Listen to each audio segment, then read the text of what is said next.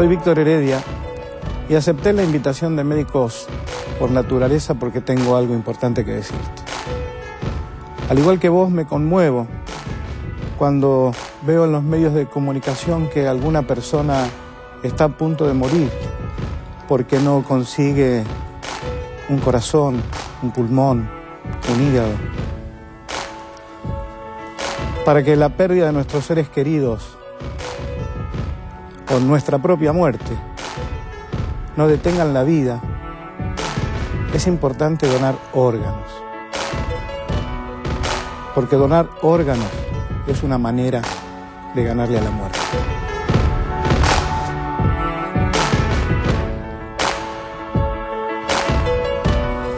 Bueno, y decíamos que el capítulo de la alimentación es básica y es fundamental. Y en general suponen los diabéticos que es complicado, que hay que tener mucho, mucho conocimiento para saber cómo uno combina los, los alimentos, que va a haber algo que, que voy a comer y en realidad eso va a estar prohibido de por vida y eso me da angustia, me da rabia, me da bronca. Pero no es tan así como suponemos. Por eso es muy importante aclarar cuál es la alimentación adecuada y cuál es la mejor manera de combinar estos alimentos para que no nos hagan daño. Exactamente, y así como la actividad física que recién mencionaban es tan vital y tan importante para la diabetes, la alimentación tiene un papel importante en la alimentación de todo el mundo, pero acá en los diabéticos es importante la inclusión de verduras, frutas, cereales integrales, carnes magras, especialmente inclusión del pescado, así como lo hace la dieta mediterránea, que sabemos que, reduce un riesgo de un 50% los eventos cardiovasculares, comer con el hábito de la dieta mediterránea. Aceite de oliva, cereales integrales, verduras, frutas y pescado. Sí, perfecto. Entonces, vamos para el diabético es lo mismo. Para el diabético es lo mismo, inclusive se hizo un subestudio en pacientes diabéticos y se vio que el beneficio era aún mayor en los pacientes diabéticos. O sea que adoptar todos estos alimentos que habitualmente uno en el correr porque está apurado, no los prepare. Yo siempre insisto, comer sano requiere un poquito más de trabajo y un poquito más de tiempo. No muchísimo, pero sí organizarse, planificar, hacer las compras adecuadas, disponer en la heladera de frutas y verduras para que eso nunca falte. Y quiero hoy darles algunos tips importantes y sacar algunos mitos. A ver, dale, empecemos. Primer concepto, eh, todo lo que sea verduras siempre tiene que estar en nuestro plan de alimentación, en almuerzo o en cena, ¿por qué? Porque las verduras nos aportan fibra y las fibras nos ayudan a que el azúcar que se absorbe con ese alimento, si yo por ejemplo como una pasta con verduras, la absorción del azúcar de esa pasta va a ser mucho más lenta. Esto es lo que se conoce como el índice glucémico. El índice glucémico es una clasificación para alimentos para conocer cómo impacta en el azúcar en sangre cierto alimento. Lo vamos a hacer clarito acá en, esta, en este ejercicio. Eh, eh, ¿Da lo mismo que sean verduras crudas o verduras cocidas? Bien, la verdura cruda tarda más tiempo en absorberse porque justamente los tipos de cocción influyen en la manera con, que, con la velocidad con que se absorben. Entonces, si comemos verduras crudas, es mucho más lenta esta absorción. Esta absorción. Entonces, Eso es lo que estamos buscando, que la absorción de la glucemia sea lo más lenta posible. Lo más lenta posible para evitar estos picos postprandiales después de comer, que son los que impactan en la salud de las arterias. Perfecto. Entonces, vamos a un ejemplo acá con las pastas las pastas cuando las cocinamos siempre tenemos que cocinarlas al dente. Acá vamos a ver la diferencia, un fideo al dente y un fideo que está pasado. El fideo al dente se absorbe más lentamente, le cuesta más a nuestro tubo digestivo degradar ese fideo que viene más durito. Por eso que para el diabético es fundamental comerlo al dente. Al dente, en general para todos. Inclusive si uno quiere bajar de peso, es mejor esta estrategia de cocción que un, fideo pasado. Y un fideo con aire, como es un tirabuzón o un mostachole o un fierrito, que un fettuccine finito. Este es el tipo de fideo que debería elegir ah, el, diabético. y el que tiene sobrepeso. Ah, Ahora bien, si yo le agrego a esta pasta aceite de oliva o le agrego verduras, ambas, la verdura por la aporte de fibra y el aceite por la aporte de grasa, nos retrasa la absorción del azúcar. O sea que es importante como yo combino los alimentos para que mi azúcar suba más lentamente.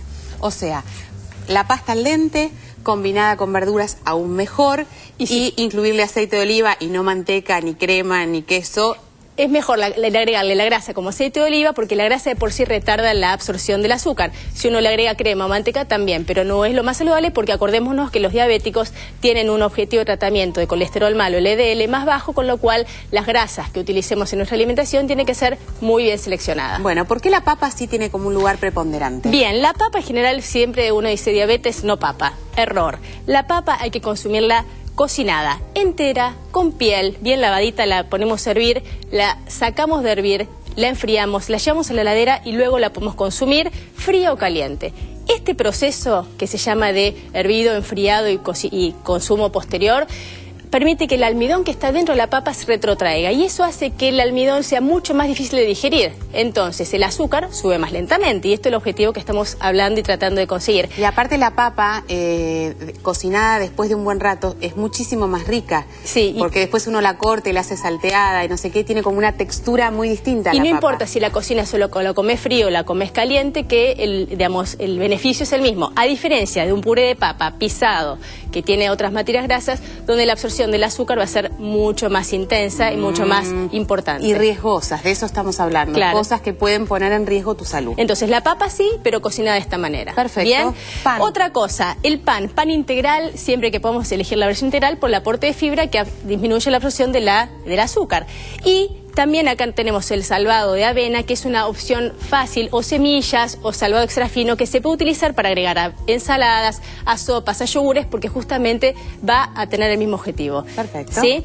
Vamos al tema eh, postres, que habitualmente uno dice, es bueno... gran conflicto para los diabéticos. Al diabético y a todos nos gusta comer algo rico, algo dulce, y creemos que está totalmente prohibido. La inteligencia está en saber qué elegir. Uno habitualmente cree que las bananas y las uvas están prohibidas en los diabéticos, porque es verdad, nos aportan más hidratos de carbono por porción. Ahora, el secreto está en consumir una porción más chica. No voy a elegir una banana muy grande, voy a elegir una banana mediana y siempre que esté más bien tirando a verdecita, no que esté madura.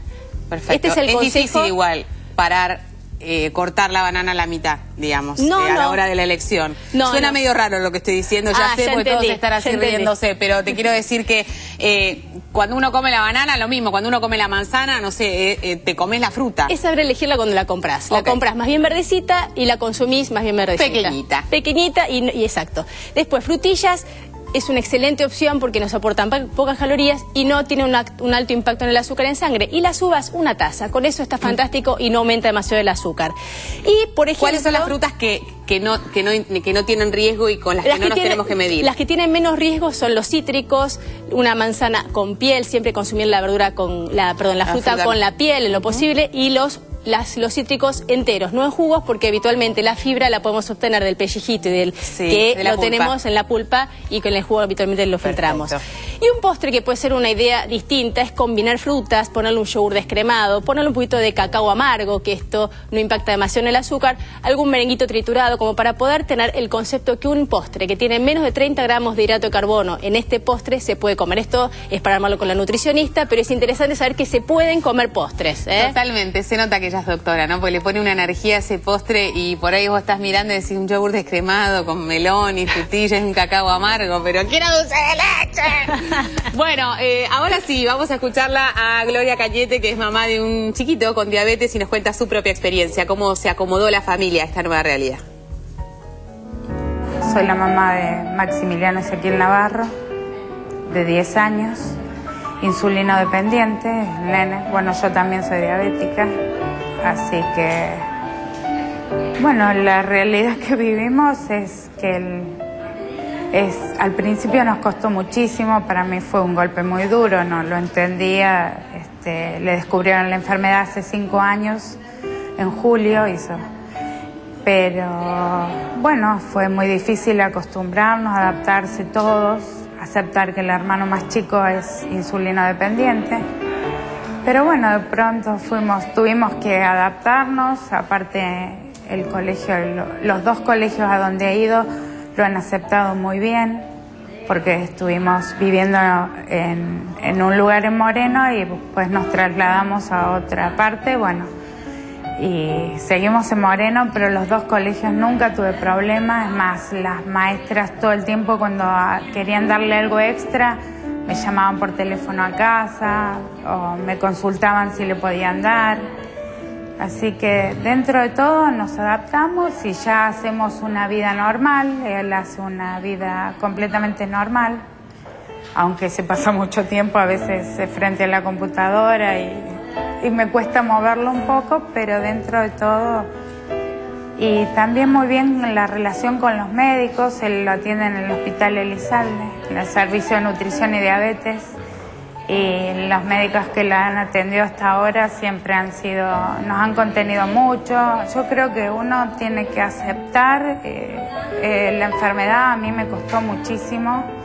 Eh, al principio la del nene, la mía, bueno, también un poco, pero sobre todo la de mi hijo. Me preguntaba por qué, por qué nos pasó a nosotros, pero bueno, hay que aceptarla y hay que este, adaptarse y, y seguir porque él tiene una larga vida por delante y tiene mucho que hacer, realizar su vida, sus sueños.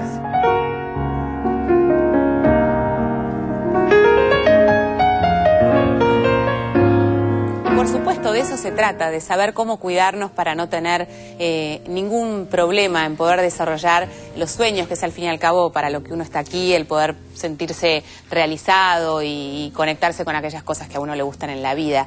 Eh, había algo que me parece que es muy importante que ella destacó y que insistimos, porque el doctor Bergman recién nos hacía mención. Eh, se ha hablado mucho de aquellos pacientes que son insulina dependientes, pero no hemos por ahí mencionado tanto aquellos que no lo son y que obviamente podrían no desarrollar esta enfermedad si tomaran los recaudos correspondientes en su, en su adultez joven, como por ejemplo darle bolilla a la alimentación, que también nos enseñó recién la doctora Harwitz, darle bolilla a la actividad física, eh, en fin, ese tipo de cosas. Si ella decía, ¿no? La panza, eh, está todo el día frente a la computadora. Todos estamos eh, modificando lamentablemente nuestra realidad física y eso nos va a jugar en contra eh, muchísimo. Teniendo en cuenta que es la gran epidemia junto con el tabaco en los próximos 20 años, si nosotros tomáramos algunas medidas en función de eso que tiene que ver con movernos más, bajar, nosotros se habla mucho del peso, pero en el peso no es el problema, el problema es, el cinturón. Entonces, si uno se mide la panza y tiene más de determinados valores, que en el hombre es más de 102 y en la mujer más de 88, uno dice, momento, esta panza me está dando riesgo de diabetes, porque esa grasa que sale de la panza y que circula por la sangre no deja actuar la insulina. Claro. Entonces, vos te convertís en poco tiempo en diabético. Entonces, ahí está el secreto. Bueno, una cosa que parece tan sencilla, pero que puede eh, afectarnos tanto. Hacemos una pequeña pausa. Enseguida, te prometo, estamos respondiendo todos tus mensajes. Ya venimos.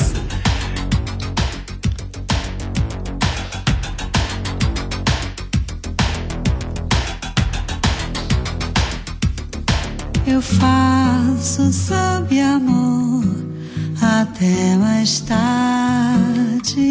¿Sabías que es importante que el enfermo de diabetes se informe acerca de los cuidados que necesita esta enfermedad? Quienes sufren diabetes no pueden simplemente tomar unas pastillas o insulina por la mañana y olvidarse de su condición el resto del día. Cualquier diferencia en la dieta, el ejercicio, el nivel de estrés u otros factores puede afectar el nivel de azúcar en la sangre. Y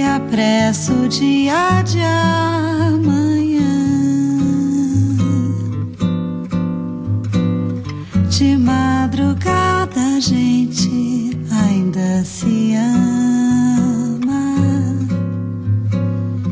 E a fábrica